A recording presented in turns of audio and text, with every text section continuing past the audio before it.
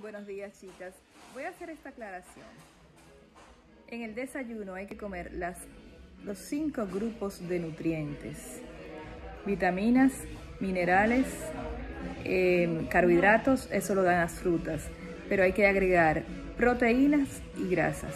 Ok, entonces uno puede comer eh, huevos, eh, avena que tiene proteínas, sardina, aunque un poco pesada, eh, leche baja en grasa y también yogur, entre otros alimentos.